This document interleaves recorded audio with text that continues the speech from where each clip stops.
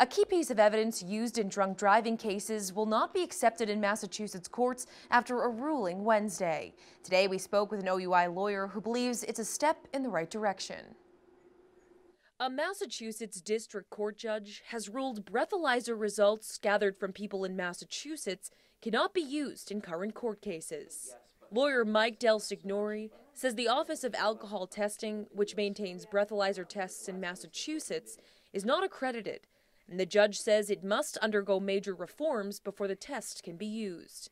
They become accredited, they're going to have they're going to be subject to internal audits. There's going to be someone else who's going to oversee the Office of Alcohol Testing because they didn't have any independent checks. So they're going to be held to scientific standards.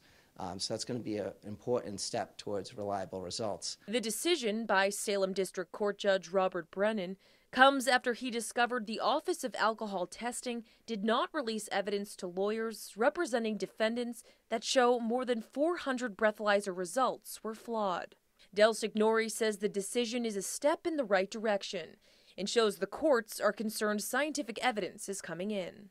Kind of holding a higher standard, making sure that if we have evidence come into court that we presume people think are, is reliable, we're going to hold them to scientific standards. When asking Dudley Police Chief Stephen Wehner his opinion on the ruling, he says, based on this information, the manner in which breathalyzer results are introduced in court proceedings is currently under review by the Massachusetts Chiefs of Police Association and others in our criminal justice system.